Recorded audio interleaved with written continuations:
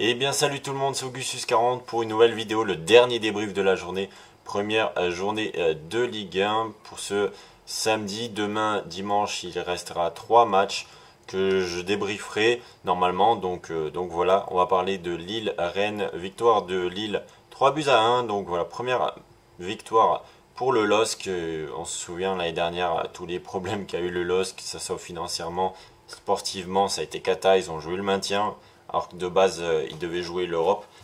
Mais, euh, mais voilà, cette année, on repart à zéro, on repart sur de nouvelles bases et il commence avec une belle victoire, 3 buts à 1 contre Rennes. Rennes qui est en Europa League, donc, euh, donc voilà, c'est pas n'importe qui. donc voilà, on va commencer par les buts.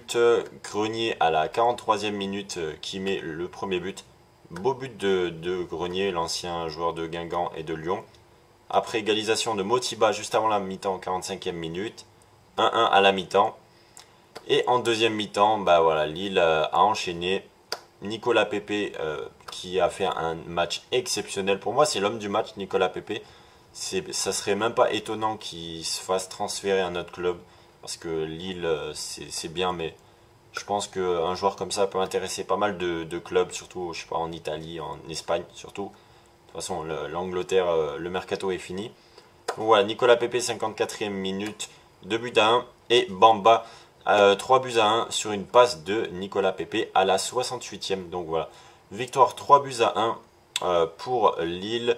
Dommage hein, pour Rennes qui menait 1-0. Mais voilà, Lille est deuxième grâce à cette victoire. Bon, de toute façon, tous ceux qui ont gagné sont en, haut du tableau. Il n'y a pas eu encore de, de match nul dans cette Ligue 1. Voilà, que des, victoires et des défaites évidemment. Hein.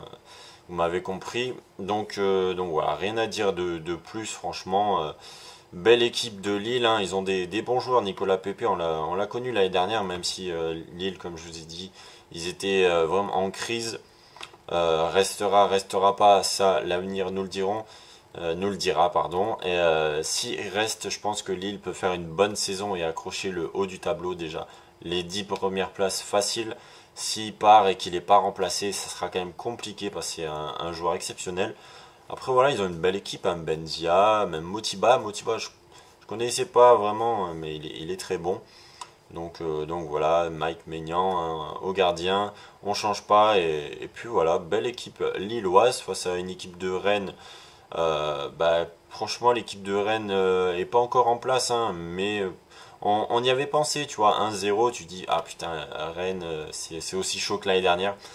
Et, pas forcément. Franchement, faudrait voir euh, sur les prochains matchs.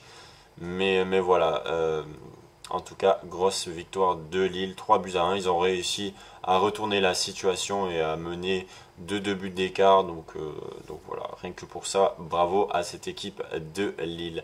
On se voit demain pour les, les débriefs. Ciao tout le monde